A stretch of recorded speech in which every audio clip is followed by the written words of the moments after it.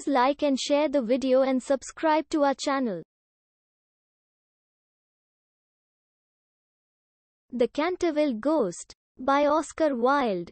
Chapter 1. When Mr. Hiram B. Otis, the American minister, bought Canterville Chase, everyone told him he was doing a very foolish thing, as there was no doubt at all that the place was haunted. Indeed, Lord Canterville himself, who was a man of the most punctilious honor, had felt it his duty to mention the fact to Mr. Otis when they came to discuss terms.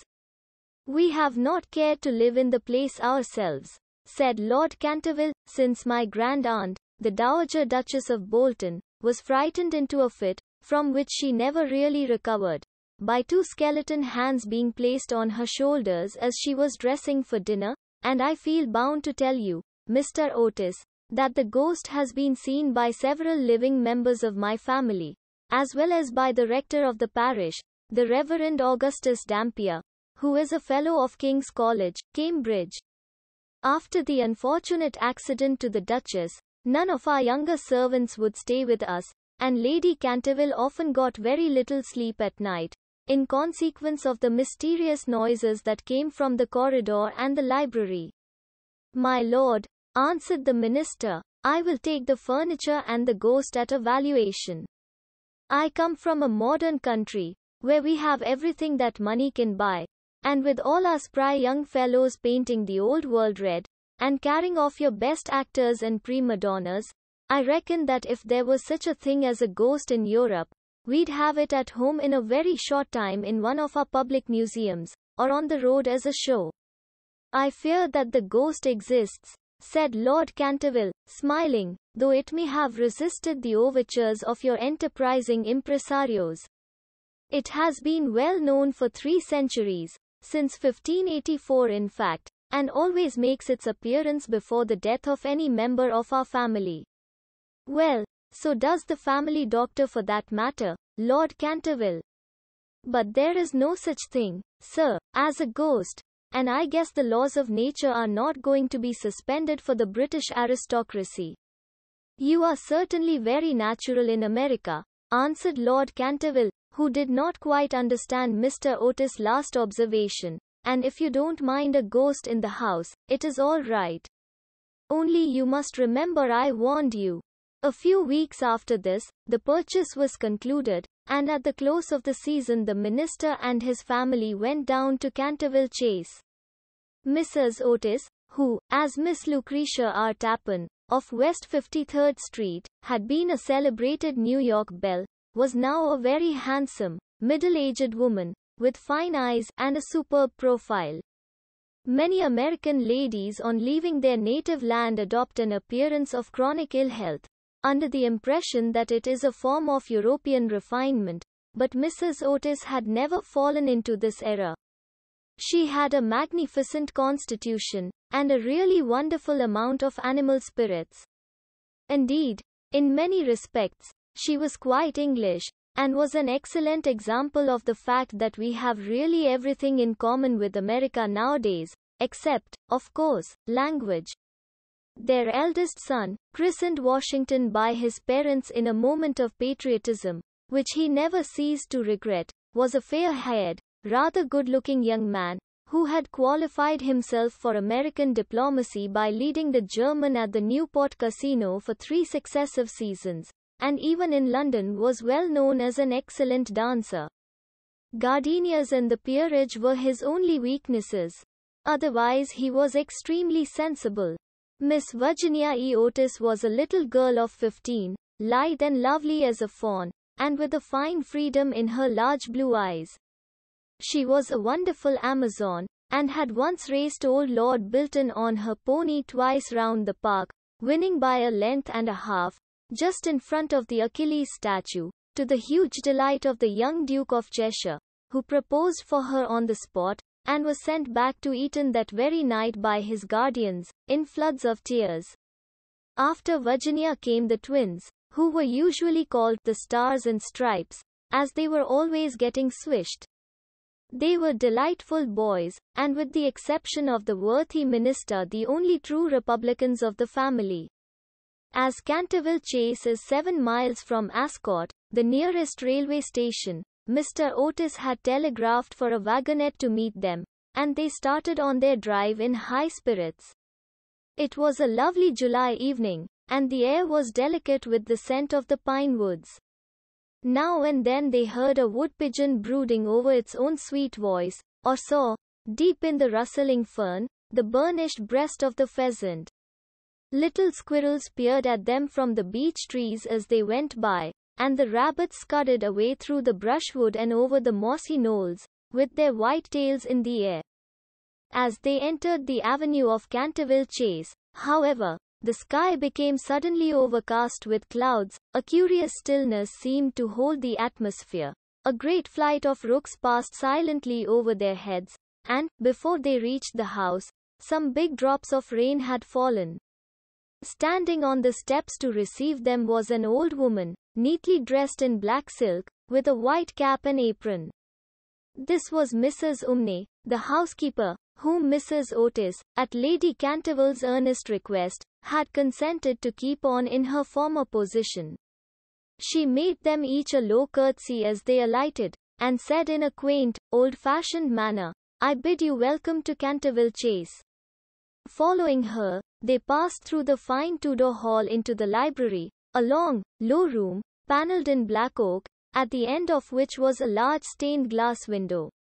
Here they found tea laid out for them, and, after taking off their wraps, they sat down and began to look round, while Mrs. Umney waited on them. Suddenly Mrs. Otis caught sight of a dull red stain on the floor just by the fireplace and, quite unconscious of what it really signified, said to Mrs. Umney, I am afraid something has been spilt there. Yes, madam, replied the old housekeeper in a low voice, blood has been spilt on that spot. How horrid, cried Mrs. Otis, I don't at all care for bloodstains in a sitting room. It must be removed at once. The old woman smiled, and answered in the same low, mysterious voice, It is the blood of Lady Eleanor de Canterville, who was murdered on that very spot by her own husband, Sir Simon de Canterville, in 1575. Sir Simon survived her nine years, and disappeared suddenly under very mysterious circumstances. His body has never been discovered, but his guilty spirit still haunts the chase. The blood stain has been much admired by tourists and others, and cannot be removed. That is all nonsense, cried Washington Otis. Pinkerton's champion stain remover and Paragon detergent will clean it up in no time. And before the terrified housekeeper could interfere, he had fallen upon his knees, and was rapidly scouring the floor with a small stick of what looked like a black cosmetic. In a few moments no trace of the blood stain could be seen. I knew Pinkerton would do it, he exclaimed triumphantly, as he looked round at his admiring family. But no sooner had he said these words than a terrible flash of lightning lit up the somber room. A fearful peal of thunder made them all start to their feet, and Mrs. Umney fainted. What a monstrous climate, said the American minister calmly, as he lit a long cheroot. I guess the old country is so overpopulated that they have not enough decent weather for everybody. I have always been of opinion that emigration is the only thing for England. My dear Hiram, cried Mrs. Otis, what can we do with a woman who faints? Charge it to her like breakages, answered the minister. She won't faint after that, and in a few moments Mrs. Umney certainly came to. There was no doubt, however, that she was extremely upset, and she sternly warned Mr. Otis to beware of some trouble coming to the house. I have seen things with my own eyes, sir, she said, that would make any Christian's hair stand on end, and many and many a night I have not closed my eyes in sleep for the awful things that are done here. Mr. Otis, however, and his wife warmly assured the honest soul that they were not afraid of ghosts, and, after invoking the blessings of Providence on her new master and mistress, and making arrangements for an increase of salary, the old housekeeper tottered off to her own room. Chapter 2 The storm raged fiercely all that night, but nothing of particular note occurred. The next morning, however, when they came down to breakfast, they found the terrible stain of blood once again on the floor. I don't think it can be the fault of the Paragon detergent, said Washington, for I have tried it with everything. It must be the ghost. He accordingly rubbed out the stain a second time, but the second morning it appeared again. The third morning also it was there, though the library had been locked up at night by Mr. Otis himself, and the key carried upstairs. The whole family were now quite interested. Mr. Otis began to suspect that he had been too dogmatic in his denial of the existence of ghosts. Mrs. Otis expressed her intention of joining the Psychical Society, and Washington prepared a long letter to Messrs. Myers and Podmore on the subject of the permanence of sanguineous stains when connected with crime. That night all doubts about the objective existence of phantasmata were removed forever. The day had been warm and sunny, and, in the cool of the evening, the whole family went out to drive. They did not return home till nine o'clock, when they had a light supper. The conversation in no way turned upon ghosts, so there were not even those primary conditions of receptive expectation which so often precede the presentation of psychical phenomena. The subjects discussed, as I have since learned from Mr. Otis, were merely such as form the ordinary conversation of cultured Americans of the better class, such as the immense superiority of Miss Fanny Davenport over Sarah Bernhardt as an actress, the difficulty of obtaining green corn, buckwheat cakes, and hominy, even in the best English houses, the importance of Boston in the development of the world soul, the advantages of the baggage check system in railway traveling, and the sweetness of the New York accent as compared to the London drawl. No mention at all was made of the supernatural, nor was Sir Simon de Canterville alluded to in any way.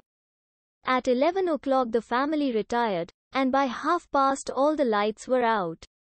Some time after, Mr. Otis was awakened by a curious noise in the corridor, outside his room. It sounded like the clank of metal, and seemed to be coming nearer every moment. He got up at once, struck a match, and looked at the time. It was exactly one o'clock. He was quite calm, and felt his pulse, which was not at all feverish.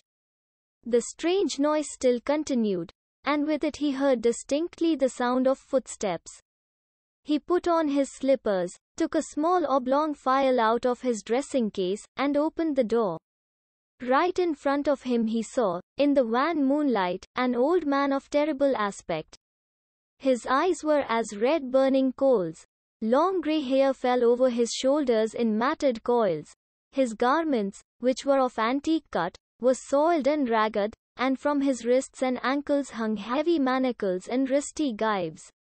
My dear sir, said Mr. Otis, I really must insist on your oiling those chains, and have brought you for that purpose a small bottle of the Tammany Rising Sun Lubricator. It is said to be completely efficacious upon one application, and there are several testimonials to that effect on the wrapper from some of our most eminent native divines. I shall leave it here for you by the bedroom candles, and will be happy to supply you with more should you require it. With these words the United States minister laid the bottle down on a marble table, and, closing his door, retired to rest. For a moment the Canterville ghost stood quite motionless in natural indignation.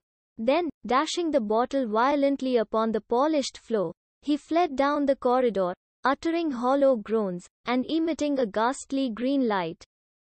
Just, however, as he reached the top of the great oak staircase, a door was flung open, two little white-robed figures appeared, and a large pillow whizzed past his head.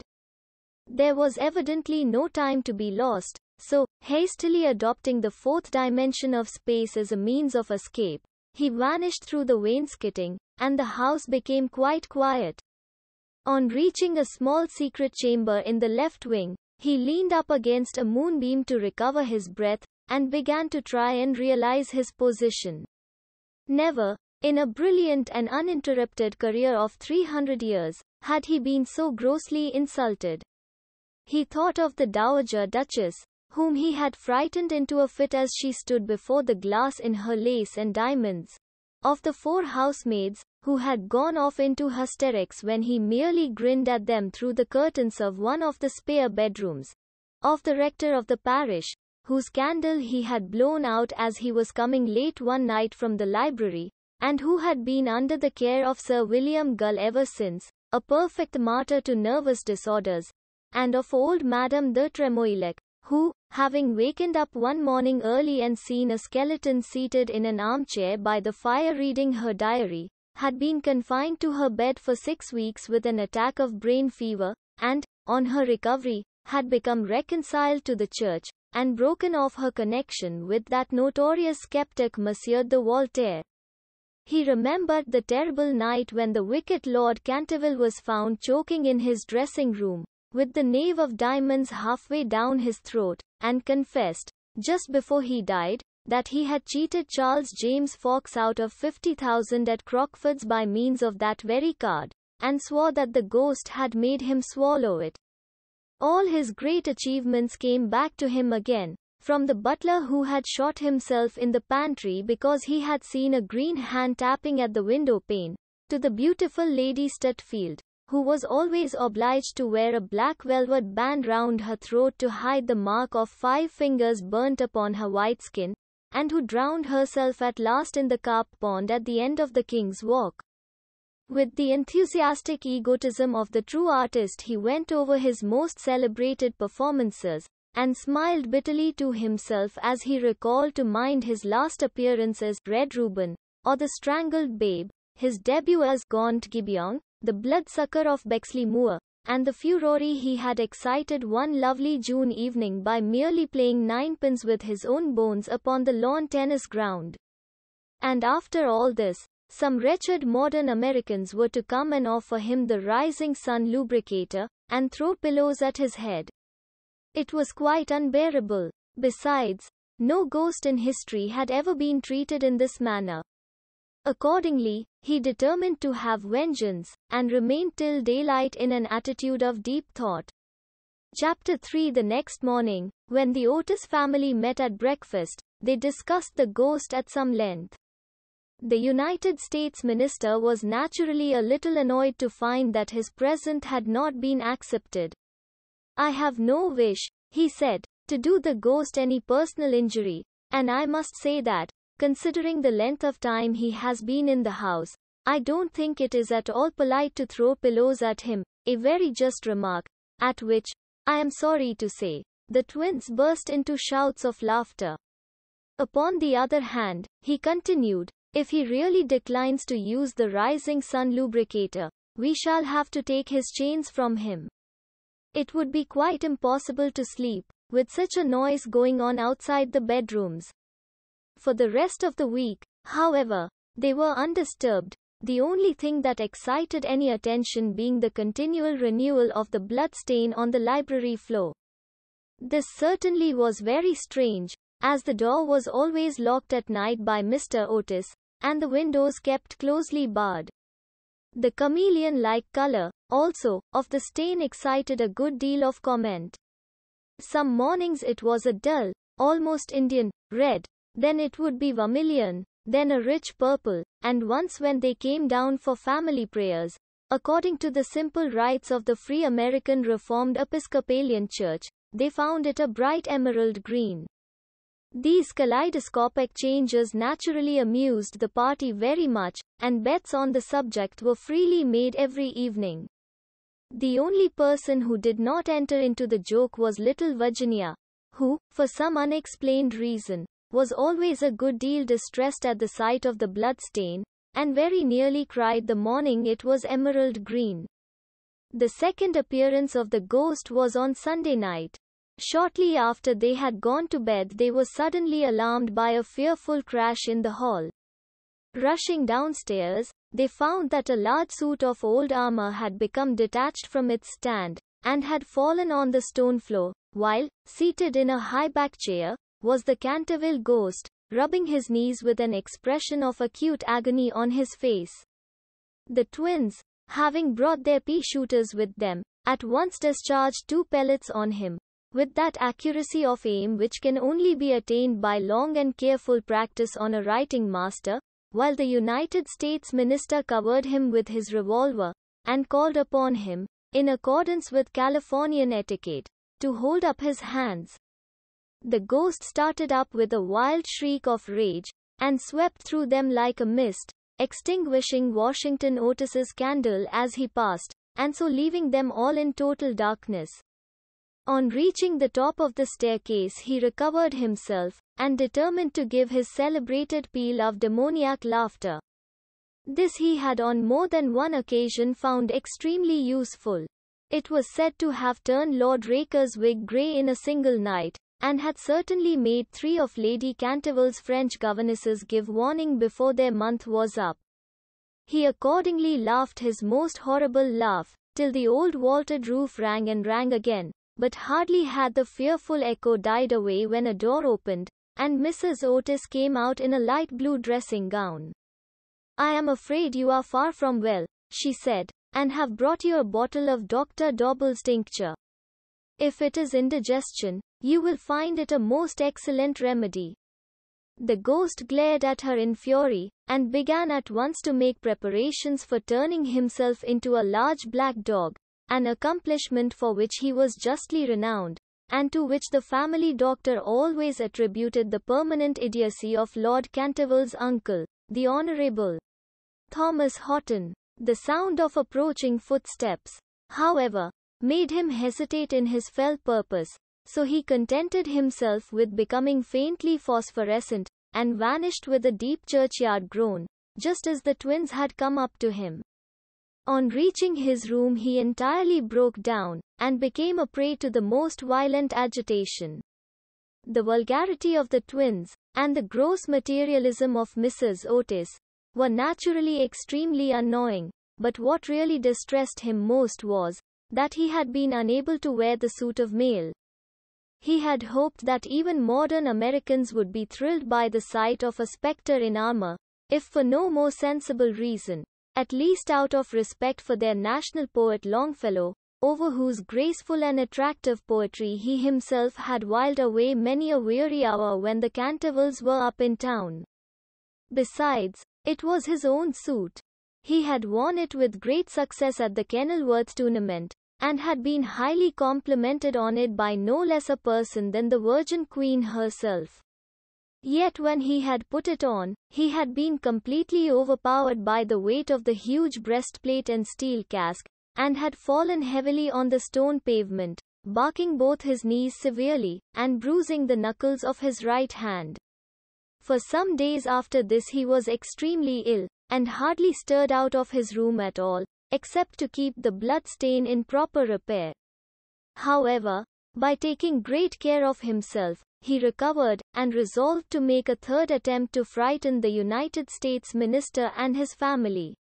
He selected Friday, the 17th of August, for his appearance, and spent most of that day in looking over his wardrobe, ultimately deciding in favor of a large slouched hat with a red feather, a winding sheet frilled at the wrists and neck, and a rusty dagger. Towards evening a violent storm of rain came on, and the wind was so high that all the windows and doors in the old house shook and rattled. In fact, it was just such weather as he loved. His plan of action was this. He was to make his way quietly to Washington Otis's room, gibber at him from the foot of the bed, and stab himself three times in the throat to the sound of slow music. He bore Washington a special grudge, being quite aware that it was he who was in the habit of removing the famous Canterville blood stain, by means of Pinkerton's Paragon detergent. Having reduced the reckless and foolhardy youth to a condition of abject terror, he was then to proceed to the room occupied by the United States minister and his wife, and there to place a clammy hand on Mrs. Otis's forehead, while he hissed into her trembling husband's ear the awful secrets of the charnel house. With regard to little Virginia, he had not quite made up his mind. She had never insulted him in any way, and was pretty and gentle. A few hollow groans from the wardrobe, he thought, would be more than sufficient, or, if that failed to wake her, he might grapple at the counterpane with palsy-twitching fingers. As for the twins, he was quite determined to teach them a lesson. The first thing to be done was, of course, to sit upon their chests, so as to produce the stifling sensation of nightmare. Then, as their beds were quite close to each other, to stand between them in the form of a green, icy cold corpse, till they became paralyzed with fear, and finally, to throw off the winding sheet, and crawl round the room, with white, bleached bones and one rolling eyeball, in the character of Dumb Daniel, or the suicide skeleton, a role in which he had on more than one occasion produced a great effect, and which he considered quite equal to his famous part of Martin the Maniac, or the Masked Mystery. At half past ten he heard the family going to bed. For some time he was disturbed by wild shrieks of laughter from the twins, who, with the light-hearted gaiety of schoolboys, were evidently amusing themselves before they retired to rest. But at a quarter past eleven all was still, and, as midnight sounded, he sallied forth. The owl beat against the window panes, the raven croaked from the old yew tree, and the wind wandered moaning round the house like a lost soul. But the Otis family slept unconscious of their doom, and high above the rain and storm he could hear the steady snoring of the Minister for the United States. He stepped stealthily out of the wainscoting, with an evil smile on his cruel, wrinkled mouth, and the moon hid her face in a cloud as he stole past the great oriel window, where his own arms and those of his murdered wife were blazoned in azure and gold. On and on he glided, like an evil shadow, the very darkness seeming to loathe him as he passed. Once he thought he heard something call, and stopped, but it was only the baying of a dog from the Red Farm, and he went on, muttering strange 16th century curses, and ever and anon brandishing the wristy dagger in the midnight air. Finally he reached the corner of the passage that led to luckless Washington's room. For a moment he paused there, the wind blowing his long grey locks about his head, and twisting into grotesque and fantastic folds the nameless horror of the dead man's shroud.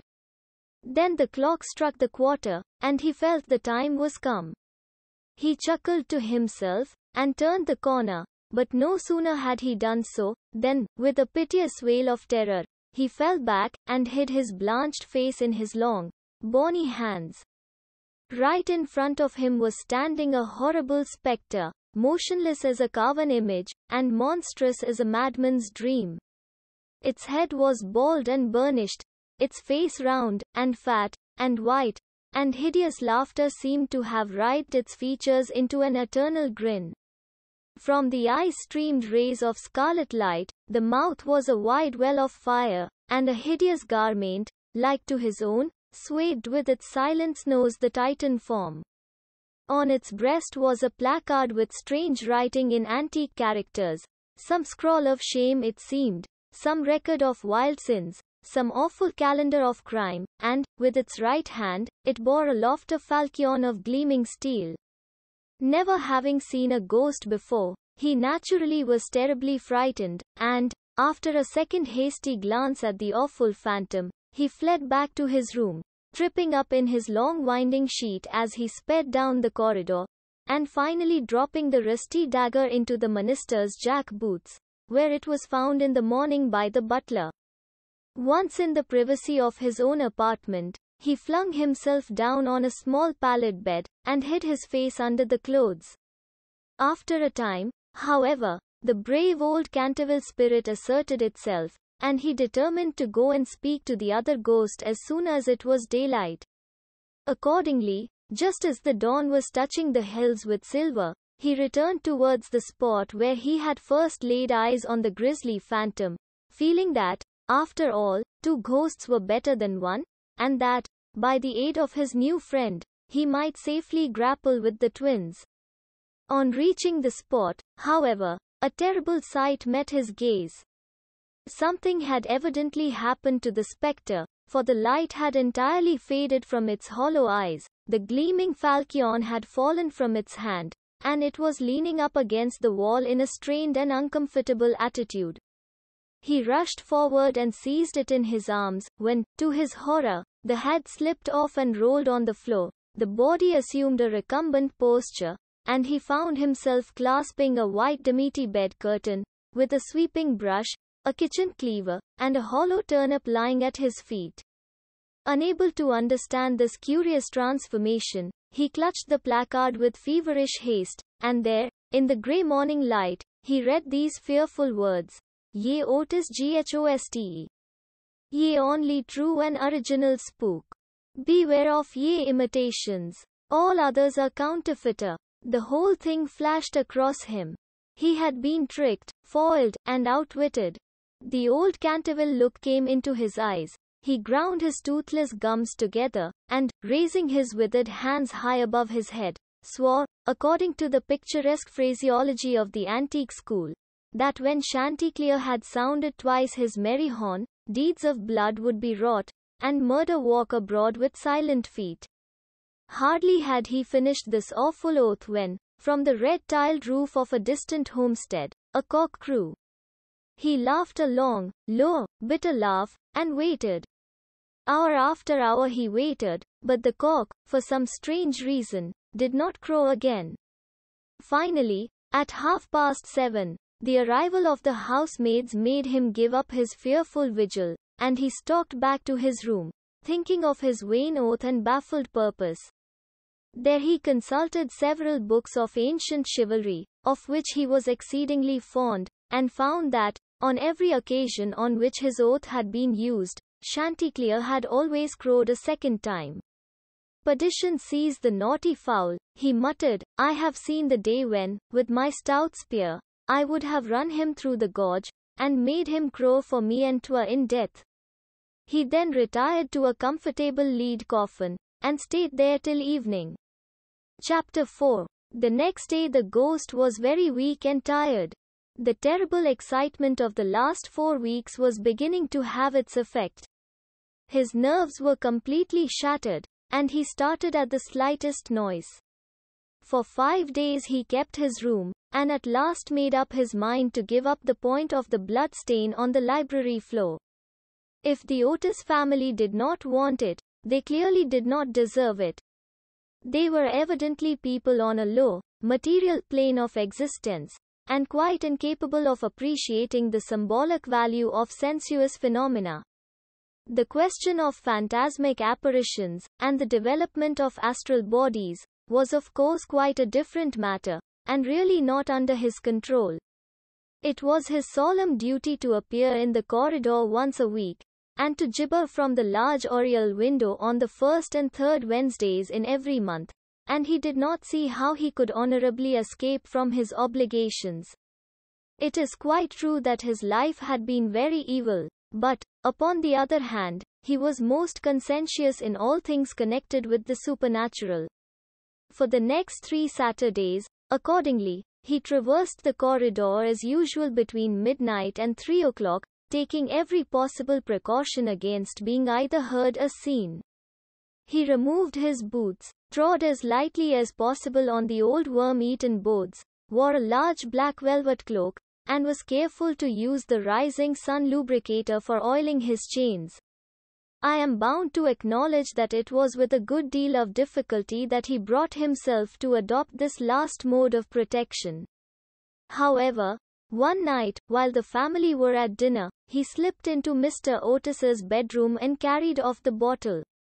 He felt a little humiliated at first, but afterwards was sensible enough to see that there was a great deal to be said for the invention, and, to a certain degree, it served his purpose. Still, in spite of everything, he was not left unmolested.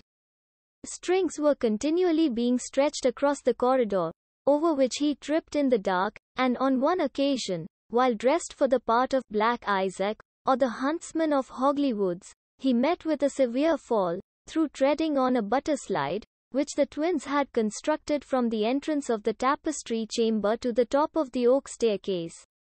This last insult so enraged him, that he resolved to make one final effort to assert his dignity and social position, and determined to visit the insolent young Etonians the next night in his celebrated character of Reckless Rupert, or the Headless Earl. He had not appeared in this disguise for more than 70 years.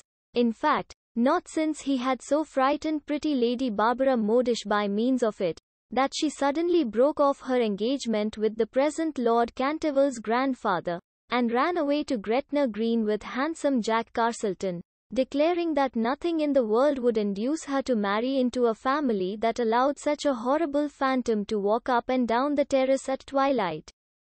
Poor Jack was afterwards shot in a duel by Lord Canterville on Wandsworth Common, and Lady Barbara died of a broken heart at Tunbridge Wells before the year was out, so, in every way, it had been a great success.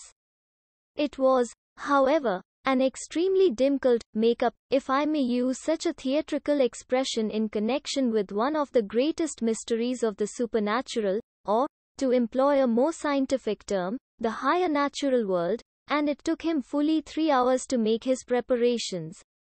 At last everything was ready, and he was very pleased with his appearance. The big leather riding boots that went with the dress were just a little too large for him, and he could only find one of the two horse pistols, but, on the whole, he was quite satisfied, and at a quarter past one he glided out of the wainscoting and crept down the corridor.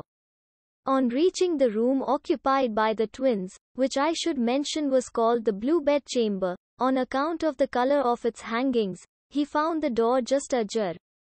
Wishing to make an effective entrance, he flung it wide open, when a heavy jug of water fell right down on him, wetting him to the skin, and just missing his left shoulder by a couple of inches. At the same moment he heard stifled shrieks of laughter proceeding from the four-post bed. The shock to his nervous system was so great that he fled back to his room as hard as he could go, and the next day he was laid up with a severe cold. The only thing that at all consoled him in the whole affair was the fact that he had not brought his head with him, for, had he done so, the consequences might have been very serious. He now gave up all hope of ever frightening this rude American family, and contented himself, as a rule, with creeping about the passages in list slippers, with a thick red muffler round his throat for fear of draughts, and a small arquebus, in case he should be attacked by the twins. The final blow he received occurred on the 19th of September. He had gone downstairs to the great entrance hall, feeling sure that there, at any rate, he would be quite unmolested and was amusing himself by making satirical remarks on the large Saroni photographs of the United States minister and his wife, which had now taken the place of the Canterville family pictures. He was simply but neatly clad in a long shroud, spotted with churchyard mold, had tied up his jaw with a strip of yellow linen, and carried a small lantern and a sexton's spade.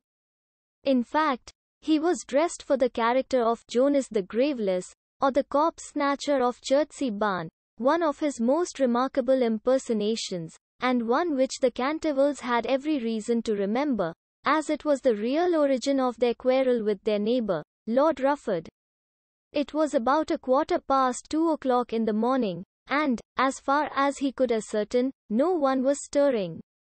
As he was strolling towards the library, however, to see if there were any traces left of the bloodstain, Suddenly there leaped out on him from a dark corner two figures, who waved their arms wildly above their heads, and shrieked out, Boo! in his ear. Seized with a panic, which, under the circumstances, was only natural, he rushed for the staircase, but found Washington Otis waiting for him there with the big garden syringe.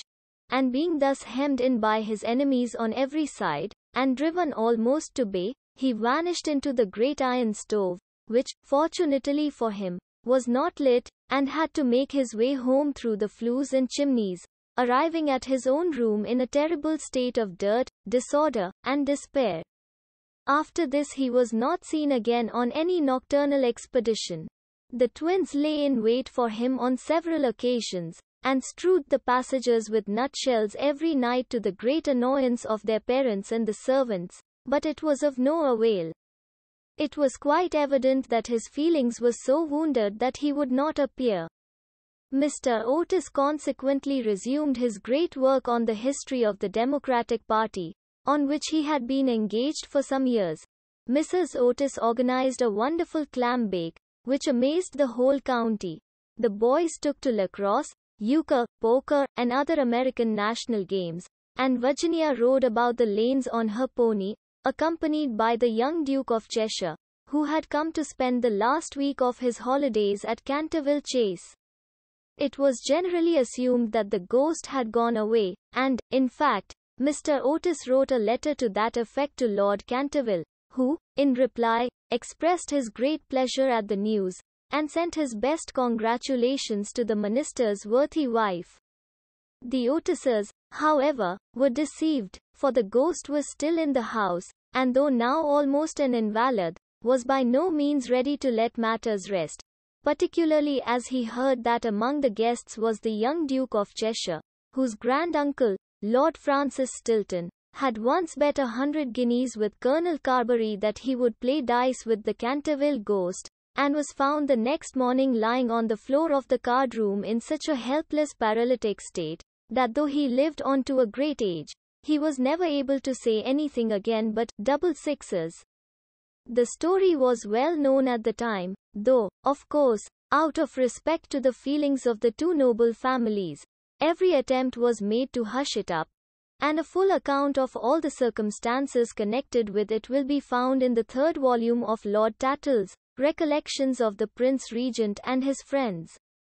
The ghost, then, was naturally very anxious to show that he had not lost his influence over the Stiltons, with whom, indeed, he was distantly connected, his own first cousin having been married en secondaires noces, the Sieur de Bulkeley, from whom, as everyone knows, the Dukes of Cheshire are lineally descended.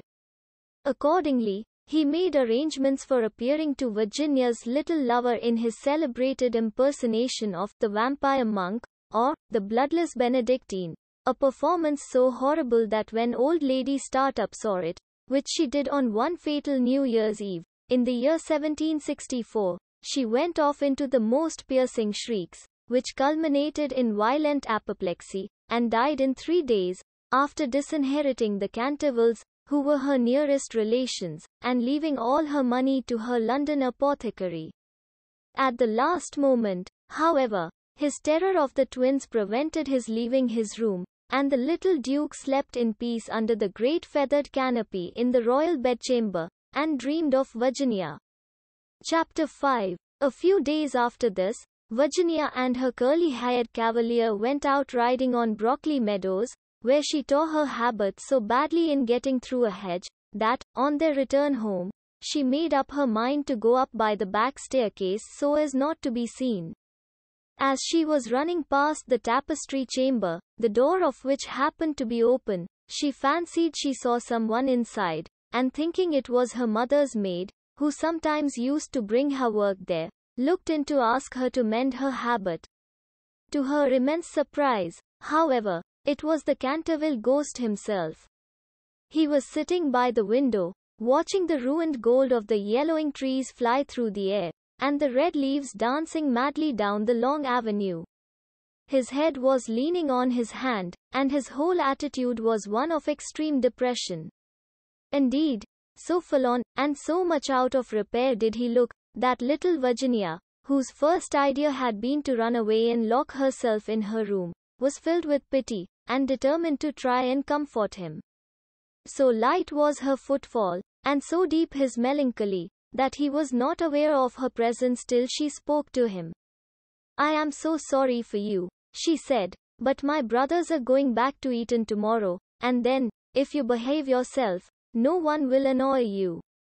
It is absurd asking me to behave myself, he answered, looking round in astonishment at the pretty little girl who had ventured to address him. Quite absurd.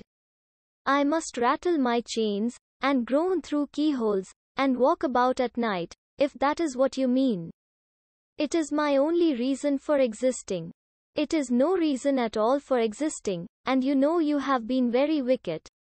Mrs. Umney told us, the first day we arrived here, that you had killed your wife. Well, I quite admit it, said the ghost petulantly, but it was a purely family matter, and concerned no one else.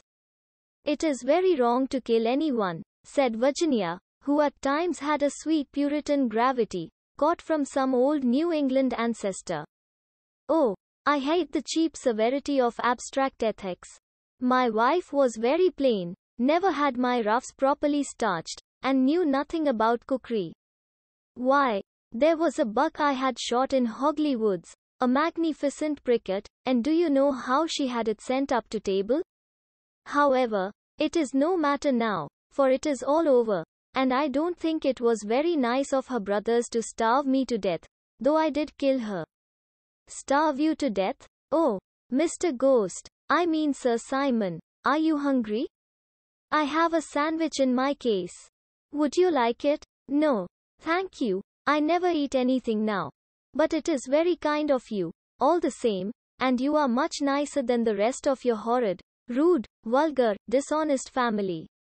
Stop, cried Virginia, stamping her foot. It is you who are rude, and horrid, and vulgar, and as for dishonesty, you know you stole the paints out of my box to try and furbish up that ridiculous blood stain in the library. First you took all my reds, including the vermilion, and I couldn't do any more sunsets.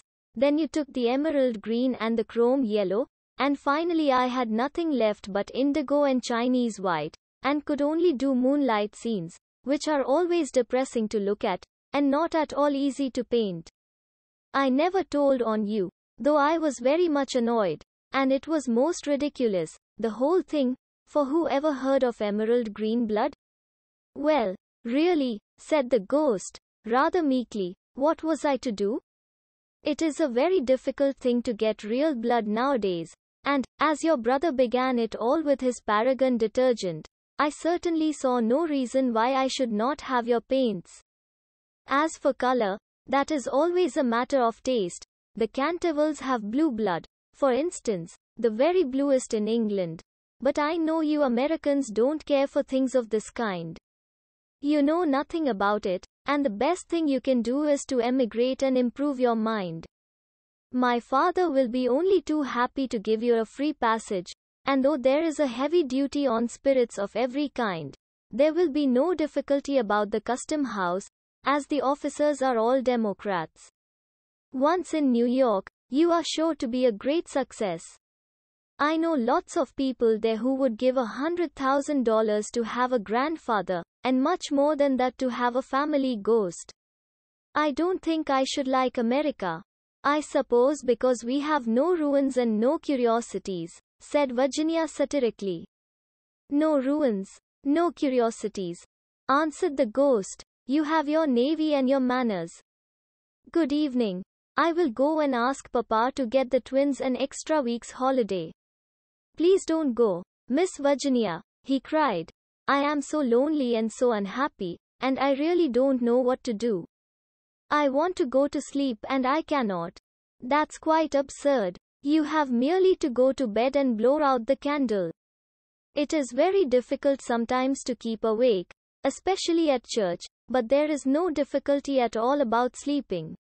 Why, even babies know how to do that, and they are not very clever. I have not slept for 300 years, he said sadly, and Virginia's beautiful blue eyes opened in wonder. For 300 years I have not slept, and I am so tired. Virginia grew quite grave, and her little lips trembled like rose leaves. She came towards him, and kneeling down at his side, looked up into his old withered face. Poor, poor ghost, she murmured, have you no place where you can sleep? Far away beyond the pine woods, he answered, in a low dreamy voice, There is a little garden. There the grass grows long and deep. There are the great white stars of the hemlock flower. There the nightingale sings all night long. All night long he sings, and the cold, crystal moon looks down, and the yew tree spreads out its giant arms over the sleepers. Virginia's eyes grew dim with tears, and she hid her face in her hands. You mean the garden of death, she whispered. Yes, death. Death must be so beautiful. To lie in the soft brown earth, with the grasses waving above one's head, and listen to silence. To have no yesterday, and no tomorrow. To forget time, to forgive life, to be at peace. You can help me. You can open for me the portals of death's house, for love is always with you, and love is stronger than death is. Virginia trembled, a cold shudder ran through her, and for a few moments there was silence. She felt as if she was in a terrible dream. Then the ghost spoke again, and his voice sounded like the sighing of the wind. Have you ever read the old prophecy on the library window? Oh, often, cried the little girl, looking up. I know it quite well. It is painted in curious black letters, and it is difficult to read. There are only six lines. One a golden girl can win prayer from out the lips of sin, when the barren almond bears, and a little child give away its tears, then shall all the house be still and peace come to Canterville. But I don't know what they mean. They mean, he said sadly, that you must weep with me for my sins, because I have no tears, and pray with me for my soul, because I have no faith, and then, if you have always been sweet, and good, and gentle, the angel of death will have mercy on me. You will see fearful shapes in darkness, and wicked voices will whisper in your ear, but they will not harm you, for against the purity of a little child the powers of hell cannot prevail. Virginia made no answer, and the ghost wrung his hands in wild despair as he looked down at her bowed golden head. Suddenly she stood up, very pale, and with a strange light in her eyes. I am not afraid, she said firmly, and I will ask the angel to have mercy on you. He rose from his seat with a faint cry of joy, and taking her hand bent over it with old-fashioned grace and kissed it. His fingers were as cold as ice, and his lips burned like fire, but Virginia did not falter, as he led her across the dusky room. On the faded green tapestry were broidered little huntsmen.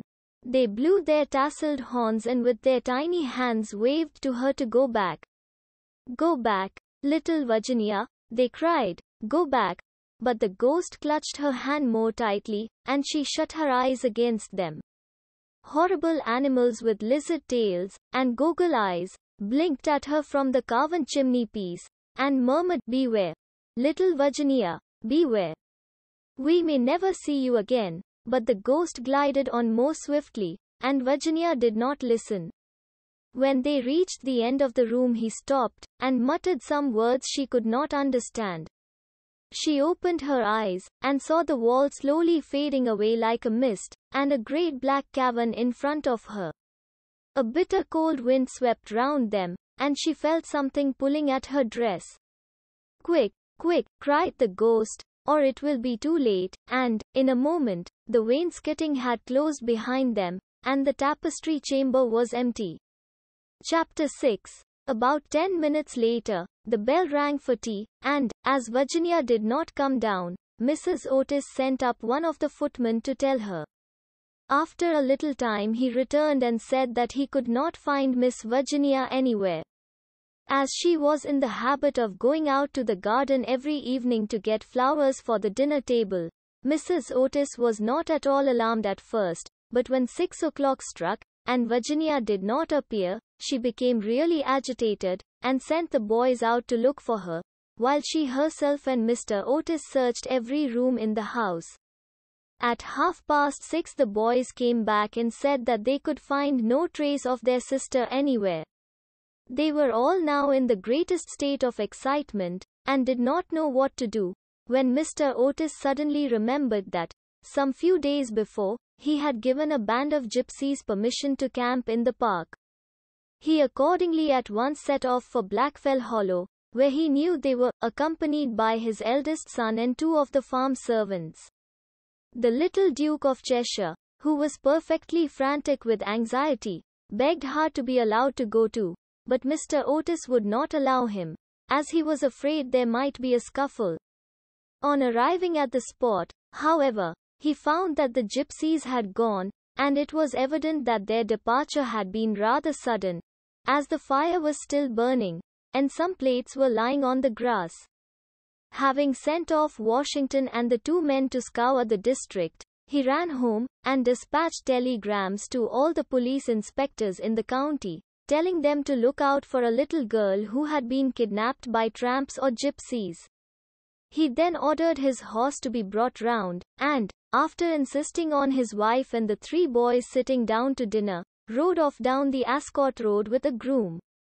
He had hardly, however, gone a couple of miles, when he heard somebody galloping after him, and, looking round, saw the little Duke coming up on his pony, with his face very flushed and no hat.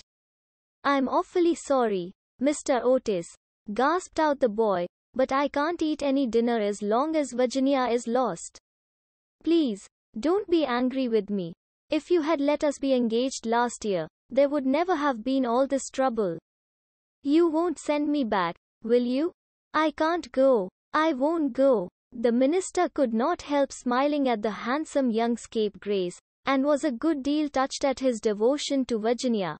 So leaning down from his horse, he patted him kindly on the shoulders, and said, Well, Cecil, if you won't go back I suppose you must come with me. But I must get your hat at Ascot. Oh, bother my hat. I want Virginia, cried the little Duke laughing, and they galloped on to the railway station. There Mr. Otis inquired of the station master if anyone answering to the description of Virginia had been seen on the platform, but could get no news of her. The station master, however, wired up and down the line, and assured him that a strict watch would be kept for her, and, after having bought a hat for the little Duke from a linen draper, who was just putting up his shutters, Mr. Otis rode off to Bexley, a village about four miles away, which he was told was a well-known haunt of the gypsies, as there was a large common next to it. Here they roused up the rural policeman, but could get no information from him, and, after riding all over the common, they turned their horses' heads homewards, and reached the chase about 11 o'clock, dead tired and almost heartbroken. They found Washington and the twins waiting for them at the gate house with lanterns, as the avenue was very dark. Not the slightest trace of Virginia had been discovered. The gypsies had been caught on Brockley Meadows, but she was not with them, and they had explained their sudden departure by saying that they had mistaken the date of Chorton Fair, and had gone off in a hurry for fear they might be late. Indeed, they had been quite distressed at hearing of Virginia's disappearance, as they were very grateful to Mr. Otis for having allowed them to camp in his park, and four of their number had stayed behind to help in the search. The carp pond had been dragged, and the whole chase thoroughly gone over, but without any result. It was evident that, for that night at any rate, Virginia was lost to them, and it was in a state of the deepest depression that Mr. Otis and the boys walked up to the house, the groom following behind with the two horses and the pony. In the hall they found a group of frightened servants, and lying on a sofa in the library was poor Mrs. Otis, almost out of her mind with terror and anxiety, and having her forehead bathed with eau de cologne by the old housekeeper. Mr. Otis at once insisted on her having something to eat, and ordered up supper for the whole party. It was a melancholy meal, as hardly anyone spoke, and even the twins were awestruck and subdued, as they were very fond of their sister. When they had finished, Mr. Otis, in spite of the entreaties of the little Duke, ordered them all to bed, saying that nothing more could be done that night, and that he would telegraph in the morning to Scotland Yard for some detectives to be sent down immediately. Just as they were passing out of the dining room, midnight began to boom from the clock tower, and when the last stroke sounded they heard a crash and a sudden shrill cry. A dreadful peal of thunder shook the house, a strain of unearthly music floated through the air. A panel at the top of the staircase flew back with a loud noise, and out on the landing, looking very pale and white, with a little casket in her hand, stepped Virginia. In a moment they had all rushed up to her. Mrs. Otis clasped her passionately in her arms, the Duke smothered her with violent kisses, and the twins executed a wild war dance round the group. Good heavens!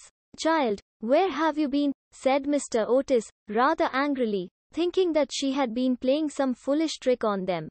Cecil and I have been riding all over the country looking for you, and your mother has been frightened to death. You must never play these practical jokes anymore. Except on the ghost. Except on the ghost. Shrieked the twins, as they capered about. My own darling, thank God you are found. You must never leave my side again, murmured Mrs. Otis, as she kissed the trembling child, and smoothed the tangled gold of her hair. Papa, said Virginia quietly, I have been with the ghost. He is dead, and you must come and see him. He had been very wicked, but he was really sorry for all that he had done, and he gave me this box of beautiful jewels before he died. The whole family gazed at her in mute amazement, but she was quite grave and serious, and, turning round, she led them through the opening in the wainscoting down a narrow secret corridor, Washington following with a lighted candle, which he had caught up from the table. Finally, they came to a great oak door, studded with rusty nails. When Virginia touched it, it swung back on its heavy hinges, and they found themselves in a little low room, with a vaulted ceiling, and one tiny grated window. Embedded in the wall was a huge iron ring, and chained to it was a gaunt skeleton, that was stretched out at full length on the stone floor, and seemed to be trying to grasp with its long fleshless fingers an old-fashioned trencher and ewer, that were placed just out of its reach. The jug had evidently been once filled with water, as it was covered inside with green mold. There was nothing on the trencher but a pile of dust. Virginia knelt down beside the skeleton, and, folding her little hands together, began to pray silently, while the rest of the party looked on in wonder at the terrible tragedy whose secret was now disclosed to them. Hello! suddenly exclaimed one of the twins, who had been looking out of the window to try and discover in what wing of the house the room was situated. Hello! The old withered almond tree has blossomed. I can see the flowers quite plainly in the moonlight. God has forgiven him, said Virginia gravely, as she rose to her feet, and a beautiful light seemed to illumine her face. What an angel you are! cried the young Duke, and he put his arm round her neck and kissed her.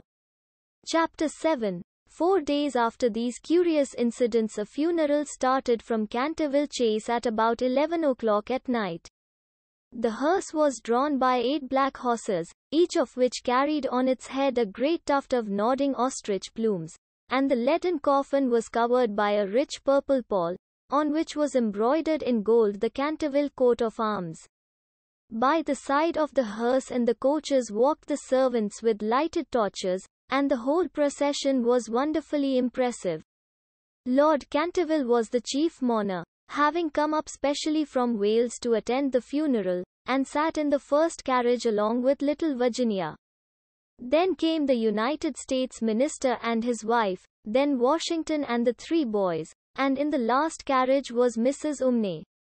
It was generally felt that, as she had been frightened by the ghost for more than 50 years of her life, she had a right to see the last of him. A deep grave had been dug in the corner of the churchyard, just under the old yew tree, and the service was read in the most impressive manner by the Reverend Augustus Dampier, when the ceremony was over, the servants, according to an old custom observed in the Canterville family, extinguished their torches, and, as the coffin was being lowered into the grave, Virginia stepped forward, and laid on it a large cross made of white and pink almond blossoms. As she did so, the moon came out from behind a cloud, and flooded with its silent silver the little churchyard, and from a distant copse a nightingale began to sing. She thought of the ghost's description of the Garden of Death, her eyes became dim with tears, and she hardly spoke a word during the drive home. The next morning, before Lord Canterville went up to town, Mr. Otis had an interview with him on the subject of the jewels the ghost had given to Virginia. They were perfectly magnificent, especially a certain ruby necklace with old Venetian setting, which was really a superb specimen of 16th century work, and their value was so great that Mr. Otis felt considerable scruples about allowing his daughter to accept them. My lord, he said, I know that in this country mortmain is held to apply to trinkets as well as to land, and it is quite clear to me that these jewels are, or should be, heirlooms in your family. I must beg you, accordingly, to take them to London with you, and to regard them simply as a portion of your property which has been restored to you under certain strange conditions. As for my daughter, she is merely a child, and has as yet, I am glad to say, but little interest in such appurtenances of idle luxury. I am also informed by Mrs. Otis, who, I may say, is no mean authority upon art, having had the privilege of spending several winters in Boston when she was a girl, that these gems are of great monetary worth, and if offered for sale would fetch a tall price. Under these circumstances, Lord Canterville, I feel sure that you will recognize how impossible it would be for me to allow them to remain in the possession of any member of my family. And, indeed, all such vain gauds and toys, however suitable or necessary to the dignity of the British aristocracy, would be completely out of place among those who have been brought up on the severe, and I believe immortal, principles of republican simplicity. Perhaps I should mention that Virginia is very anxious that you should allow her to retain the box, as a memento of your unfortunate but misguided ancestor.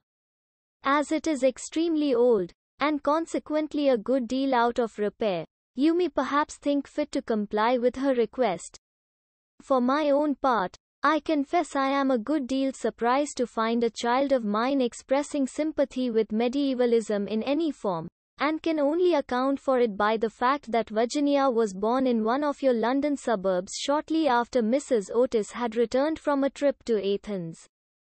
Lord Canterville listened very gravely to the worthy minister's speech, pulling his grey moustache now and then to hide an involuntary smile, and when Mr.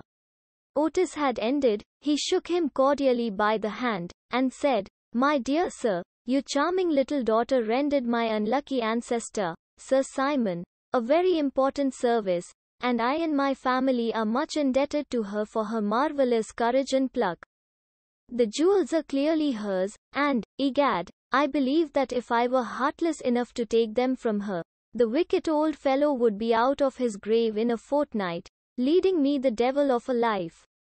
As for their being heirlooms, nothing is an heirloom that is not so mentioned in a will or legal document, and the existence of these jewels has been quite unknown. I assure you I have no more claim on them than your butler, and when Miss Virginia grows up I dare say she will be pleased to have pretty things to wear. Besides, you forget, Mr. Otis, that you took the furniture and the ghost at a valuation, and anything that belonged to the ghost passed at once into your possession, as, whatever activity Sir Simon may have shown in the corridor at night, in point of law he was really dead, and you acquired his property by purchase. Mr. Otis was a good deal distressed at Lord Canterville's refusal, and begged him to reconsider his decision, but the good-natured peer was quite firm, and finally induced the minister to allow his daughter to retain the present the ghost had given her, and when, in the spring of 1890, the young Duchess of Cheshire was presented at the Queen's first drawing room on the occasion of her marriage, her jewels were the universal theme of admiration. For Virginia received the coronet, which is the reward of all good little American girls, and was married to her boy lover as soon as he came of age. They were both so charming, and they loved each other so much, that everyone was delighted at the match, except the old Marchioness of Dumbleton, who had tried to catch the Duke for one of her seven unmarried daughters, and had given no less than three expensive dinner parties for that purpose, and, strange to say, Mr. Otis himself. Mr. Otis was extremely fond of the young Duke personally, but, Theoretically, he objected to titles, and, to use his own words, was not without apprehension lest, amid the enervating influences of a pleasure-loving aristocracy, the true principles of republican simplicity should be forgotten. His objections, however, were completely overruled, and I believe that when he walked up the aisle of St. George's, Hanover Square, with his daughter leaning on his arm, there was not a prouder man in the whole length and breadth of England. The Duke and Duchess, after the honeymoon was over, went down to Canterville Chase, and on the day after their arrival they walked over in the afternoon to the lonely churchyard by the pine woods. There had been a great deal of difficulty at first about the inscription on Sir Simon's tombstone, but finally it had been decided to engrave on it simply the initials of the old gentleman's name, and the verse from the library window. The Duchess had brought with her some lovely roses, which she strewed upon the grave, and after they had stood by it for some time they strolled into the ruined chancel of the old abbey. There the Duchess sat down on a fallen pillar, while her husband lay at her feet smoking a cigarette and looking up at her beautiful eyes. Suddenly he threw his cigarette away, took hold of her hand, and said to her, Virginia, a wife should have no secrets from her husband. Dear Cecil, I have no secrets from you.